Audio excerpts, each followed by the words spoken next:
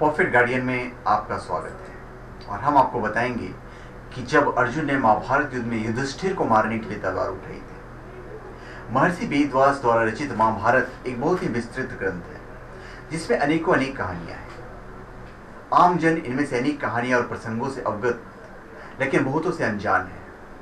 आज हम आपको महाभारत का एक ऐसा ही प्रसंग बताते हैं, जब अर्जुन ने अपने ज्येष्ठ भ्राता युधिष्ठिर को मारने के लिए हथियार उठाए थे। तो आइए हम बताते हैं कि अर्जुन ने ऐसा क्यों किया था और इसका परिणाम क्या निकला। महाभारत काल की यह कथा हमें वो समय याद कराती है जब कुरुक्षेत्र युद्ध चल रहा था। यह युद्ध का सत्रहवां दिन था और राजकुमार युधिष्ठिर तथा कर्ण के बीच युद्ध हो रहा था। सभी को इस युद्ध से बेहद उम्मीदें थी। तभी शस्त्र विद्या में माहिर रहे कर्ण ने युधिष्ठिर पर एक जोरदार वार किया। एक के बाद एक करके कर्ण के सभी वार युधिष्ठिर पर भारी पड़ते गए और वो बुरी तरह से घायल हो गया। अब कर्ण के पास एक मौका था कि युधिष्ठिर को मारकर पांडवों की नींव हिलाकर रख दे। लेकिन उसने यह मौका हाथ से जाने दिया। आखिर क्यों? कर्ण ने युधिष्ठिर पर सिर्फ़ इसलिए वार नहीं किया क्योंकि उसने पांडवों की माता कुंती को यह वचन दिया था, चाहे कुछ भी हो जाए, वो उनके किसी पुत्र को जान से नहीं मारेगा। और यही कारण था कि न चाहते हुए भी कर्ण ने युधिष्ठिर को जीवित ही जाने दिया।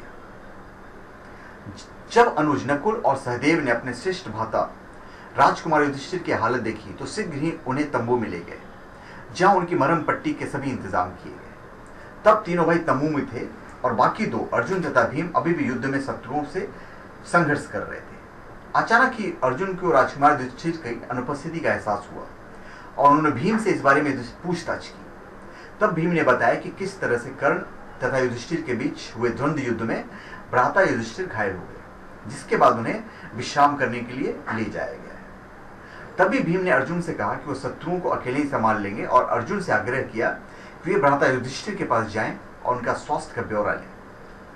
आज्ञा अनुसार राजकुमार अर्जुन उस तंबू की ओर चल दिए, जहाँ युधिष्ठिर घायल अवस्था में पीड़ा से जूझ रहे थे। तंबू में लेटे हुए युधिष्ठिर ने अचानक ही अपने अनुज को अपनी ओर आते हुए देखा। अर्जुन को देख उनकी खुशी का ठिकाना न रहा। वो समझ गए कि हो ना हो, अर्जुन युद्ध में कर्ण पर विजय प्राप्त कर उनके पास खुशखबरी लेकर आया है।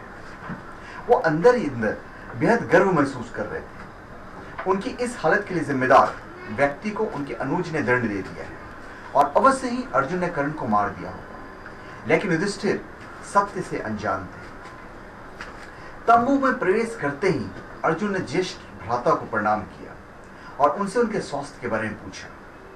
लेकिन उससे ज़्यादा तो युधिष्ठिर इस बात को सुनने के लिए उत्तेजित हो रहे थे कि अर्जुन ने कर्ण को मारा या नहीं। लेकिन तभी राजकुमार अर्जुन द्वारा वहाँ आने का असली कारण व्यक्त किया गया। उन्होंने बताया कि कैसे भीम ने युधिष्ठिर के घायल होने की खबर सुनाई, जिसके बाद वह दौड़े दौड़े उनकी स्थिति का ब्यौरा लेने आ गए और अर्जुन के मुख से सच्चाई सुनते ही युधिष्ठिर अपना आपा खो बैठे। यह सच उनकी भावनाओं को ठेस पहुँचा रहा था। उन्हें ऐसा एहसास हुआ मानो कोई उनके सम्मान को तीर के समान चिरता हुआ जा रहा है। वे बेहद क्रोधित हो उठे और बोले, तुम यहाँ केवल मेरे घाव के बारे में पूछने आए हो? या फिर उन्हें और पूरे देने आए हो? तुम किस प्रकार के अनुज हो, जो अब तक अपने ज्येष्ठ भाता के अपमान का बदला नहीं ले सके? युधिष्ठिर के इन कटु वचनों को सुनकर अर्जुन बेहद शर्मिंदा हुए। लेकिन युधिष्ठिर का क्रोध शांत नहीं हो रहा था। वे आगे बोले, यदि तुम मेरे लिए इतना भी करने में असमर्थ हो तो तुम्हें इस गांडीव अस्त्र का कोई लाभ नहीं। उतार कर फेंक दो इसे। अपने प्रिय गांडीव अस्त्र की निंदा सुनते ही अर्जुन के मुख पर निराशा भाव पल में ही क्रोध के साथ बदल गए वो संसार में किसी से भी किसी प्रकार की निंदा सुन सकते थे। लेकिन उनके गांडीव के बारे में कोई भी एक शब्द, अपशब्द कह दे, उन्हें बर्दाश्त नहीं था। दरअसल यह अर्जुन द्वारा किए गए एक वचन का हिस्सा था, जिसके अनुसार कोई भी अपना या पराया व्यक्ति यदि उनके पवित्र एवं प्रिय गांडीव अस्त्र के बारे में बुरे वचन बोलेगा तो उसका सिर कलम कर देंगे।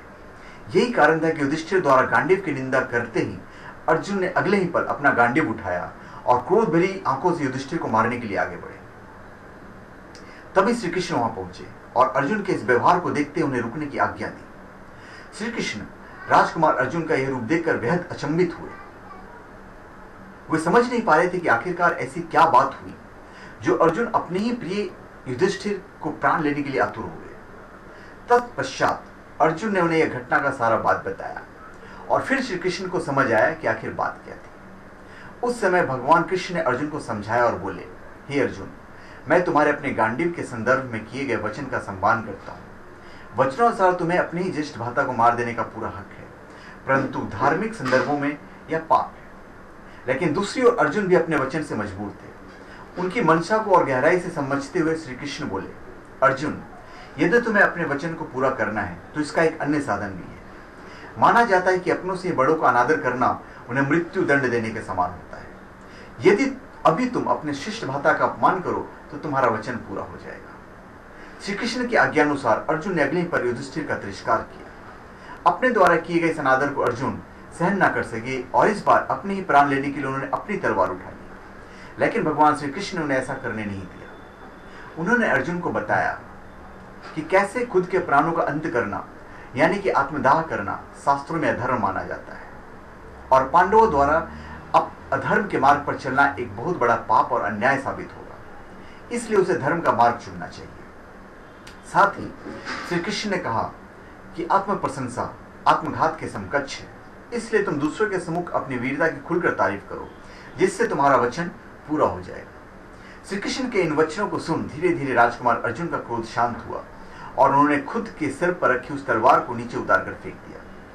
इस प्रकार भगवान कृष्ण के निर्देशों से राजकुमार अर्जुन का वचन पूरा हुआ और साथ ही वह किसी प्रकार के अधर्म करने से बच गए। धन्यवाद। आप हमारे चैनल पर सब्सक्राइब करें और अपने कमेंट दीजिए।